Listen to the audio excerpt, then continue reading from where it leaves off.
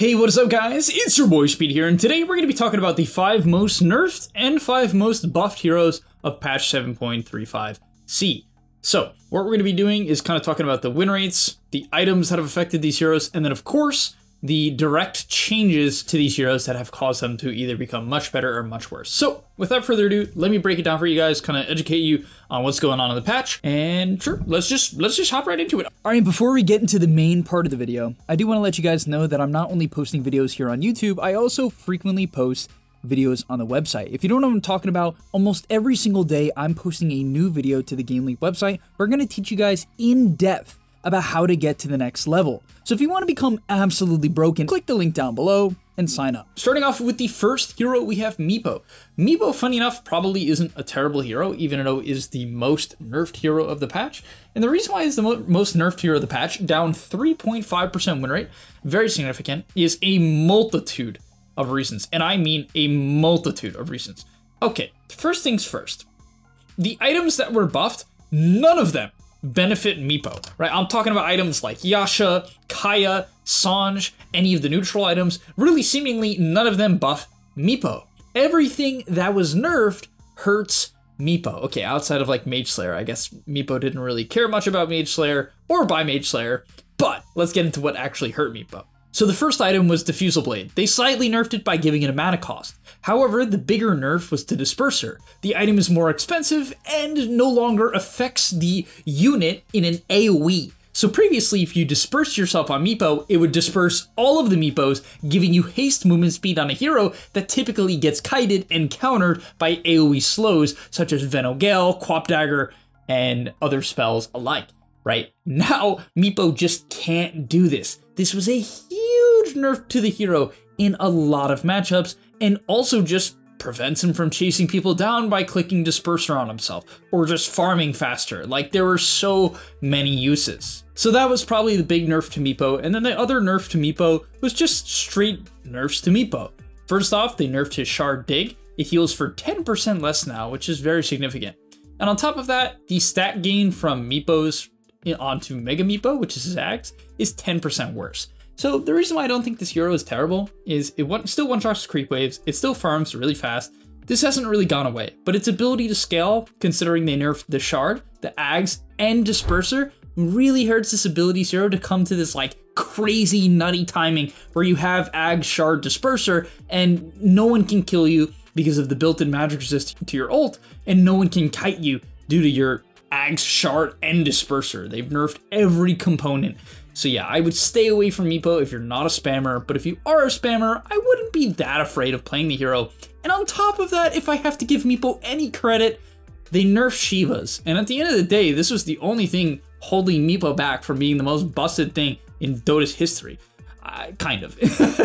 like, yeah, Shivas is one of the best items in the game against Meepo, and it's super popular, right? Armor, attack speed slow, uh, regen reduction. Right, this is really good against Meepo, and it's been significantly nerfed, so there's something to be said there. Alright, getting to the second nerfed hero, this one's really, really easy, and it's Ember Spirit. The hero has dropped uh, very significantly in win rate, and the reason why, well, first of all, they just nerfed his W, but more importantly, like far more importantly, is the fact that Mage Slayer is way worse on Ember Spirit. Sure, it does a little bit more damage, but it costs more, and it only lasts for 3 seconds. Previously, it lasted for 6 seconds. So if you slided the entire enemy team, they just did no damage for the entirety of Slide's cooldown. By the time it ended, you could slight them all again. And this is what made Ember viable. On top of that, Shivas made Ember viable, and they nerfed Shivas. The only rewarding thing about Ember for this patch is that Kaya Sange is a better item now, but I don't think that's going to be enough, and the win rate shows that. The next item is Doom. I don't think Doom is a bad hero. It's kind of like Meepo, where the hero is so strong that a nerf to the hero isn't the end of the world. Now you might be thinking, but Speeed, they also nerfed Shivas, right? This is the main item that enables Doom to be so broken, and you're right about that. That is the main item, but he's still good. Infernal Blade is still insane at level 1. He still is a pretty good laner. He still scales incredibly well. He still hits this nutty timing later into the game that's very hard to deal with, and that's very good in pubs due to the innate scaling. And so yeah, I still think Shiva's Doom is probably the way to go. I do believe that there's an angle where you go Veil into Midas, kind of delaying the Shivas because it's a bit more expensive and just really playing for the late game that makes this hero so broken, especially considering they nerfed Doom, right? The big thing that they did to Doom is, besides the fact that they nerfed his 10 talent and the moon speed on his W and Shiva's, is they made the ulti, instead of a 16 second duration at level 1, it's now 12, 14, 16, depending on the level. Next up is Slark. He lost Pounce cooldown, and that is actually a big deal. This ability used to be an 8 second cooldown at max, which was so crazy when Slark could have an 8 second cooldown Pounce with Ags. I remember that patch, it was really fun. Not fun to play against though. Don't bring that back, Valve. Don't bring it back. I don't want it. But okay, why is Slark worse? Well, they nerfed all of his items. Of course, they nerfed the Ags by just nerfing Pounce cooldown. They nerfed uh, Diffusal. They nerfed Disperser. Uh, they nerfed Mage Slayer. Like, it's pretty simple to see why Slark is worse, right? They nerfed everything. Like, literally everything going for the hero. Nerf, nerf, nerf, nerf, nerf. Okay. That's about it. And then finally, the least nerfed hero, but still one of the most nerfed heroes of the patch, is Faceless Void. Thankfully for Faceless Void, he evaded most of the item nerfs. If he didn't evade the item nerfs, he would be giga nerfed. Like, Slark is primarily nerfed because of items. Void, well, Maelstrom is about the same. In fact, it is the same.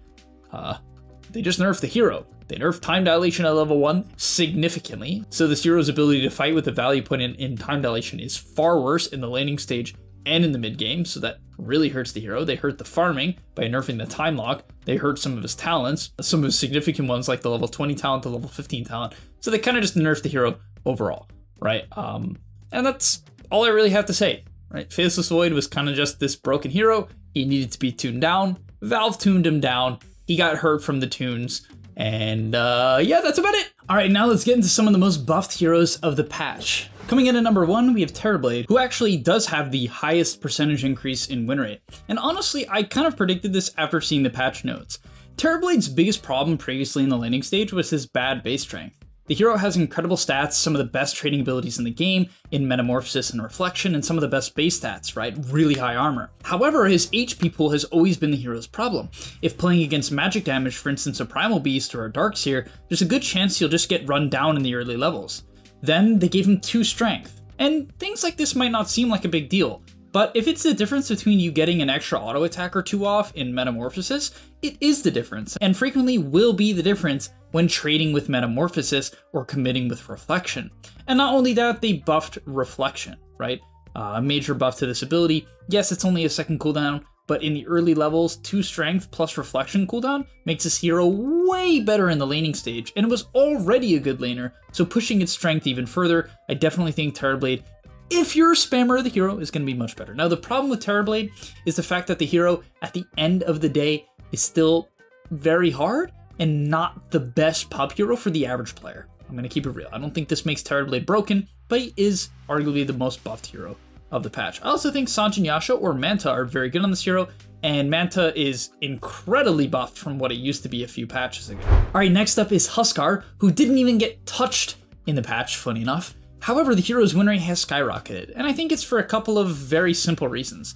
The main one being Halberd. Halberd got buffed very, very hard. The evasion on Talisman of Evasion was increased, the healing on Sange was increased, and the cost of uh, Sange was decreased. So basically, the hero's best item, Halberd, outside of Armlet of course, was buffed. Now, Armlet technically was slightly nerfed with the helm changes, and yes, this actually does hurt Huskar. The hero doesn't feel good about the nerf of this item, but at the end of the day, it's not that bad and the halberd change is a big deal. On top of that, they buffed BKB, which helps this hero massively. And also something I would like to say is I think Mage Slayer is a bigger counter to Huskar than people realize, right?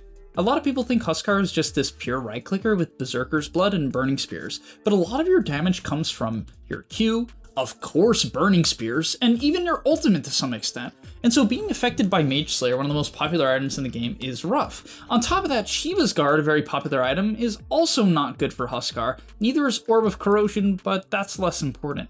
Shiva's Guard presented a big problem for Huskar. A high armor hero could man up to him potentially, reduce his regen. The attack speed's not necessarily a big deal against Huskar, but it's the regen reduction in the armor that prevent Huskar from really dealing with a lot of Shiva's buyers and often would get him killed. But now that they've buffed Halberd and BKB and nerfed Mage Slayer, I actually think it's a big opportunity for this hero to come back into the meta, especially if he happens to be countering some of the spirit heroes in the laning stage.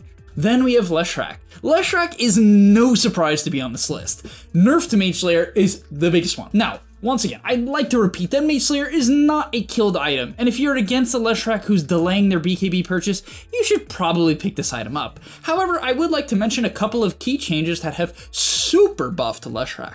Number one, they just straight up buffed the hero. Diabolic Edict, his W, does 10 damage at level 1. This ability used to do 7 per tick, now it does 10. It was 9 previous to this patch, so it didn't go from 7 to 10, it went from 9 to 10. I'm just trying to highlight how crazy this ability is now. Also, it went from 30 damage at max to 34, meaning when you get this ability maxed out, not will it only solo kill like any hero in the game, it takes buildings like no other. On top of that, they buffed the mana cost, uh, or the mana activation cost of the ulti. This hero has big mana problems. I think current mana boots are actually very good for Leshrac. The Bastion lane makes the hero a very scary laner, so mana boots being a just general better item nowadays definitely helps Leshrac. On top of that, they buffed Bloodstone, right? This is an item that is clearly better now that it just gives 3 mana regen. And it builds from a Void Stone, and the nice thing is, if you want to build the Bloodstone for the bigger AoE and the spell lifesteal, you can just buy a Void Stone, right? That's huge. You can buy Voodoo Mask, which is a buffed item as well, a Void Stone, and feel really good. You get to buy buffed item and a new, really good item for your hero. So I think just buff, buff, buff, good mana boots, Mage Slayer nerf, definitely brings Leshrac back into the meta. However, if you're against him, I still would buy Mage Slayer, and I still think it's going to cause some issues for this hero, which is going to keep him from being a top meta hero, but we'll have to see. Then we have Alchemist. Alchemist was untouched this patch. Unfortunately, there wasn't a lot of buffed heroes in this patch. The reality is, is this was mostly a nerf patch. So the heroes that did receive major buffs or increases in win rate primarily came from the changes in items. Lycan actually is a hero I considered putting on this list because he increased in win rate by 2% due to the Helm Dom changes. And yeah, that one was really significant. But Alchemist was one of the big winners for item changes. Let's talk about a couple of them. First off, we have Radiance. This item was just buffed because now Talisman of Evasion gives 5% more evasion, and that also applies to Radiance. Then we have Manta Style. It's cheaper. Then we have Orchid. I actually think Bloodthorn with Manta is often the way to go on this hero as the Mantas proc the Bloodthorn. Yes, Bloodthorn damage is nerfed and that feels a little bit bad, but Orchid cost is down. So your Manta cost is down by a little bit, your Orchid cost is down by a little bit, your Radiance is better, and I also think that this hero has the option to either go Sange Yasha or Halberd now. Now that they've buffed Halberd significantly to have a cheaper cost, better status resist by 5%, at least on Halberd, uh, that's pretty incredible. And they increased the HP regen, uh, or the HP amp that you get from this item, right? Which is great for a hero like Alchemist that of course has Chem Rage, right? Regen up the wazoo from his ulti and, and his shard if you decide to buy it. And so I think, honestly, the way to go on Alk might just be full tank. I would have recommended Shiva's if it wasn't nerfed. Shiva still is a great Alk item, but you can just truly play this hero as a get-in-the-way nuker with Radiance into Sange and Yasha. After that, you can decide between a lot of items. It could be Blink, it could be Shadow Blade. There's a lot of routes you can go down. All right, and finally, the last hero of the list is a bit of a sleeper pick. Maybe I'm a little bit biased because I'm a huge Timber fan, but this hero received very, very, very small nerfs right? It was one of the best heroes of the patch in my opinion, and I think the way they justify uh, not nerfing Timber very hard is because of the fact that they nerfed Shroud a little bit by 50 health, and they nerfed Shivas, of course, right? Two of the best items on Timber. However, one of the best items in the game, bar none on Timber, is Kaya, right? This item is just better now. It gives 2% more spell amp, which is actually really nice. And on top of that, it's cheaper. So this item is just way better for Timbersaw, right? There's no doubt about that. And Sange is way better. For the same reasons it's good on Alk, it's very good on Timber. And then from there, I don't think you have to really innovate on Timber. I'm gonna make a video about this hero on the website, so if you guys are interested in that, check that out. Not gonna make it for YouTube. But basically, I think the general build is like Kaya in a blink, back into Kaya Sange, then into Eternal Shroud, and you're just unbelievably tanky with a buffed Kaya Sange. It's much cheaper now. But alright, that's gonna be all for today's video. If I missed any heroes, you think there's a hero that's really, really buffed that you've been spamming, leave it in the comment section down below. I'd be really curious what you guys have to say, what you've been trying, what you've seen in the meta. Maybe like it. Who knows? That hero received a major buff uh, in this patch. I think in the previous patch too, but definitely in this patch with the Helm Dom cost. So I'm really curious to see how that plays out. But okay, thank you guys so much for watching. I'll see you in the next one, and I'm out. Peace. And that's all. But remember, before you leave, come on, before you tune out, subscribe to the GameLeap website where we are going to help you get to the next rank. If you're stuck, click the link down below, and I'm out. Peace.